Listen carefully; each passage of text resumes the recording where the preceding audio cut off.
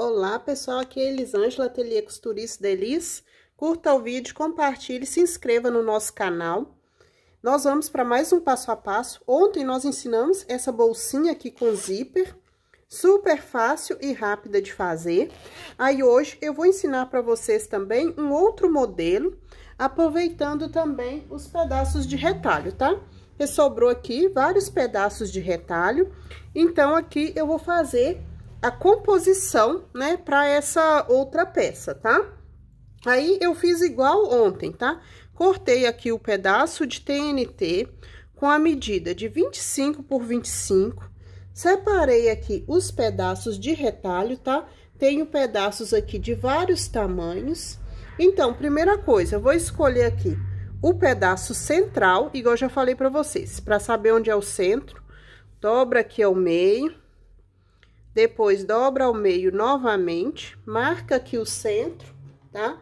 Quem não tem TNT, gente, pode usar aí um pedaço de tricoline, um pedaço de americano cru, o que você tiver aí no seu ateliê.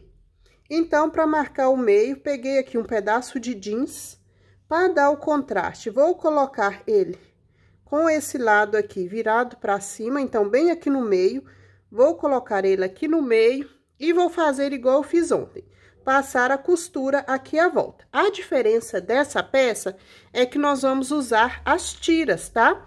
Depois que você costurou, a gente vai alinhar aqui as tiras, formando é, o desenho, tá? Então, primeira coisa, ir pra máquina passar a costura aqui à volta. Olha só, pessoal, passei a costura aqui à volta.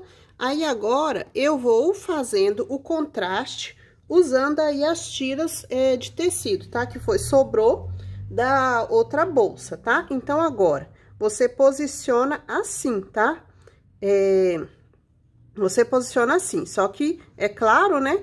É, desse jeito aqui, ó, porque depois que você costurar, vai virar pra cá, tá? Então, você posiciona desse jeito, coloca aí o alfinete pra tá segurando e vão pra máquina passar a costura aqui, tá? E vamos ir fazendo o desenho. Então, você passa a costura só até aqui, porque a gente não vai ir montando os pedaços. Se você quiser, para facilitar, você pode até cortar antes. Já colocou aqui, então você pega, já corta aqui o excesso que vai sobrar. Que isso facilita também, tá? Pode fazer assim também, que fica mais fácil. E vou colocar aqui para a máquina para vocês verem só vir costurando aqui na máquina. Tô usando é, minha máquina reta, tô usando a linha aqui, essa 100% poliéster que eu gosto, tá? Minha máquina é a Industrial Jack F4, mas essa, essa peça dá pra você fazer tranquilamente na máquina doméstica, tá? Então, é só fazer isso, retrocedeu, levanta aqui o pedal, tira da máquina para mostrar aqui para vocês pode tirar o alfinete e já ficou desse jeito, tá? Pode colocar aqui um alfinete para segurar. E agora, você pega outro pedaço aí é, de retalho, porque nós vamos aqui compondo a peça. Você pode pegar aqui um pedaço igual, por exemplo, esse aqui dá. Então, você já pode vir e costurar ele. É só vir mesmo é, trampando todos os buraquinhos igual nós fizemos ontem, tá? Costura. É uma peça muito fácil é, de fazer, tá? Retroceder sempre e vamos ir é, montando. Vou tirar aqui novamente para vocês verem. Tirou e leva aqui pro lado de cá, tá? Esse lado aqui já tá ok, pode colocar o alfinete para segurar e vamos fazendo a mesma composição. Escolhe aí um outro pedaço de retalho, pode colocar aqui, sempre alinhando, tá? Você já pode até mesmo cortar o excesso que você já vai saber que vai sobrar. Pode cortar assim, tá? Vem cortando. E vão pra máquina costurar. E só ir fazendo aí a composição da peça, tá? E nós vamos formando aqui o desenho. Vai formando. Tirar aqui só para mostrar para vocês, tá? Que não tem erro, é uma peça muito fácil de montar. Aqui já tá assim. Aí, agora, vamos colocar outra do lado de cá. A linha aqui. O excesso que vai sobrar aqui também, você já pode cortar, que você sabe que vai sobrar um excesso. Vão pra máquina costurar.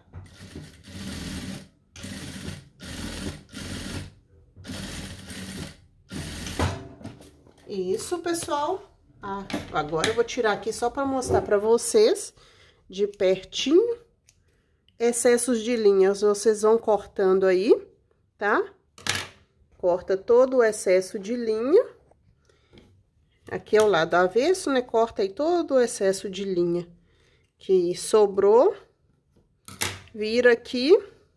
Olha só, é só você vir é, montando aí o seu desenho, tá? Igual aqui já fez, aí agora eu vou usar uma outra cor diferente é, para dar o contraste. Então, do lado de cá, vou colocar assim, tá? Porque quando eu virar, vai dar o contraste da cor, tá? Então, agora é só ir fazendo a mesma coisa. Você vai alinhando a linha a, assim pelas laterais, passa costura e vai formando o desenho, tá? Aqui, pessoal, terminei de emendar os retalhos, então é só aquela questão mesmo, vai colocando um e outro até terminar. Depois que termina, é comum, tá? Ficar um pouquinho é, maior, tá? Então, aí só você dobrar e fazer o refilamento, tá? Pra ficar bem certinho.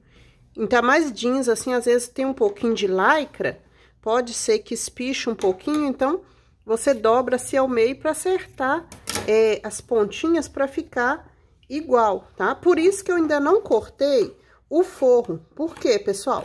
Pode ser que depois que você emendar os retalhos, dê alguma diferença. Aí, assim, você não perde a peça. Igual aqui. Aqui deu uma pequena diferença aqui no cantinho, tá? Mas não tem problema. É só você vir e cortar aqui em cima faz o refilamento aqui, tá?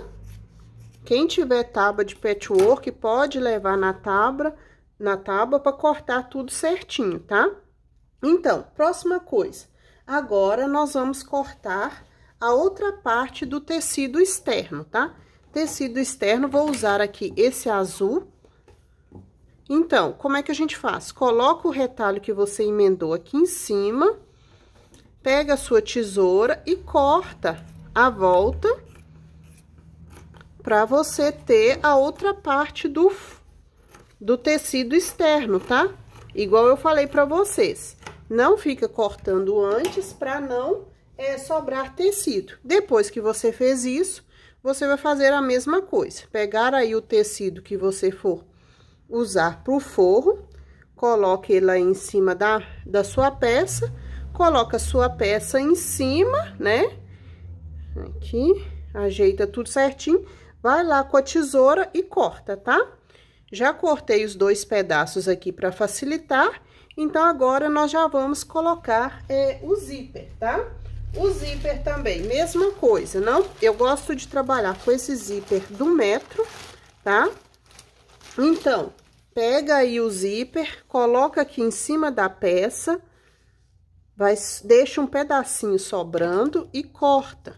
Você não precisa ficar preso a medidas, principalmente se você vai trabalhar com retalhos. Assim você ganha tempo. Aqui você vem, coloca direito com direito, tá? Deixa aqui uma parte sobrando, que é onde você vai colocar o cursor. Vamos para a máquina passar uma costura aqui. Quem já tem habilidade com a máquina, pode aproveitar e já coloca o forro. Coloca o forro também, vamos para a máquina já costurar tudo de uma vez, tá?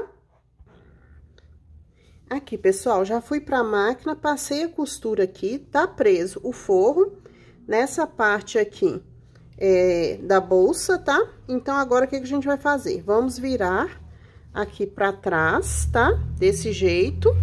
Pode colocar aí o alfinete para tá segurando. Assim, e coloca agora a outra parte, a outra parte que será a parte de trás aqui da minha bolsa. Coloco tudo certinho, pode colocar também alfinete. Eu já gosto, gente, fazer tudo de uma vez, que eu acho que agiliza, tá? Quem não tem habilidade, vai na máquina, passa costura. Mas quem já tem, pode virar aqui e já coloca também é, a parte do forro, tá? Vou colocar aqui que já vou costurar tudo de uma vez. Olha só, pessoal, costurei, então tá preso aqui a parte externa com o forro. Aí, você pode abrir tudo assim, voltar para a máquina e rebater a costura, tá? Deixa tudo para um lado, ó, forro todo para um lado Pode até colocar aí alfinete para tá prendendo. Aqui, ó. Forro para um lado, forro para o outro, zíper no meio, tá? Vira aqui, vão voltar na máquina, rebater a costura, tá? Aí, pessoal, já coloquei, já costurei, né? Aí, agora eu vou colocar o cursor. É igual já ensinei aqui em vários passo a passo corta aqui um pedaço, por isso que sempre eu deixo maior. Vem aqui com o cursor, enfia, segura aqui a pontinha, enfia outra parte, segura os dois aqui embaixo e só empurrar. Opa, deu uma coisa aqui, fazer de novo. Tá? Então, segura, pronto, tá colocado o meu cursor. Outra coisa que eu acho bom é, vocês pegam aí um pedaço esse aqui tem 10 por 10, você dobra assim, depois dobra de novo, dobra aqui, vai pra máquina e passa uma costura, igual eu fiz aqui, fazendo como se fosse essa caneletinha, que eu vou fazer assim e vou colocar aqui nas pontinhas, que eu acho que isso é bom, que facilita na hora de você abrir e fechar aí a sua bolsinha, tá? Então, vou colocar aqui. Eu já dei a dica quando vocês estiverem costurando assim, usar a fita crepe para evitar de colocar alfinete e evitar aí de furar a mão de vocês. Coloca aqui, ó, longe de onde vai passar a costura, que aí fica tranquilo, tá? Aí agora, o que, que a gente vai fazer? Vamos unir é, direito com direito, tira todos os alfinetes, pessoal, para não esquecer. Abre um pouquinho o zíper aqui embaixo. Vamos unir direito com direito direito dessa parte com direito da de cá. Coloca aí os alfinetes para ficar tudo bem certinho. O forro também. Une aqui direito com direito, do jeito que vocês quiserem aí. E essa aqui eu vou fazer ela um pouquinho diferente, tá? Aqui, ó. Vou colocar o, o zíper tudo para um lado só.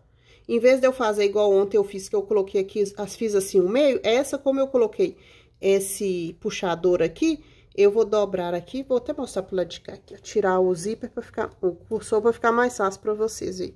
Aqui, ó. Vou fazer assim. Vou pegar aqui o zíper, o forro tá aqui, e vou fazer assim, ó. Aqui, só dobrar pro lado de cá. Aqui, já seguro, ó, seguro aqui, pego só o forro, o lado direito e faço assim, ó. Seguro, pode colocar aí o alfinete pra tá segurando aí a peça. Desse jeito, aí eu acerto tudo aqui, ó. Aqui também é a mesma coisa, só levo para o lado de cá, tá? Eu acho que isso, quando eu coloquei esse esse pedacinho aqui de tecido facilita. Aí, aqui, ó. Ajeitar tudo certinho. E agora, é só ir pra máquina e costurar. Lembrar de, da parte do forro aqui, deixa também por um lado. Forro com forro, tudo certinho. Coloca aí os alfinetes pra tá segurando. Deixa aqui embaixo, gente, como é tricoline, eu deixo aqui uns 10 centímetros para tá fazendo o desvire. E vamos para a máquina costurar. Retrocede aqui, dá a volta, aqui, aqui e até aqui. Aqui você não vai costurar, que vai ficar o lugar do desvire, tá? Aí, pessoal, já costurei toda a volta, tá? Quando você faz esse modelo, é comum sobrar um pedacinho de tecido embaixo. Então, é só você cortar aí, retirar o excesso. Aqui, as pontinhas também você pode é, cortar só pra dar um melhor acabamento, tá? Pode até fazer do lado de cá pra você não confundir com o lugar onde você fez o, o desenho, né, dos, com os retalhos. Então, agora é só fazer o desvire. Se você desejar, pode fazer aí a caixinha de leite, que eu já ensinei aqui. Esse aqui, no caso, como é cerca de 25 centímetros, você deixa aqui 2 centímetros e meio, tá? Faz nos quatro cantos e é só fazer o desvire da peça e aí a sua bolsinha já vai estar tá pronta, tá? Vou desvirar aqui para vocês verem. Aí, só empurrar, ó, acabou que eu esqueci um, um alfinete aqui dentro. Isso é um perigo que perigoso cortar a mão. Aqui, ó, pode tirar o... Tirar a fita crepe. Aí, gente, eu gosto de colocar essa pontinha que eu acho que facilita na hora da pessoa fechar ou então abrir a bolsa, porque aí ela segura aqui na pontinha e fecha com o zíper, tá? Então, aí é a critério de você. Só ajeita bem os cantinhos, tá? Ajeita bem aqui embaixo, aí você faz a caixinha de leite ou não, é a critério de vocês.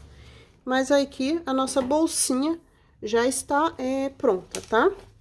Só fechar aqui. Ah, e tem que fechar o fundo, tá, pessoal? Então, aqui, é, você pega aqui o fundo, coloca direito com direito, dobra aqui pra dentro. Lado de cá também dobra pra dentro, assim. Vai na máquina e passa uma costurinha aqui, pra fechar o fundo, tá? Mas o passo a passo é esse, tá, gente? É uma bolsinha muito rápida e fácil de fazer. Você pode vender aí na sua cidade uns 35, 37 reais. E é uma ótima opção de presente aí pro Dia das Mães. Espero que tenham gostado, curta o vídeo, compartilhe, se inscreva aqui no nosso canal.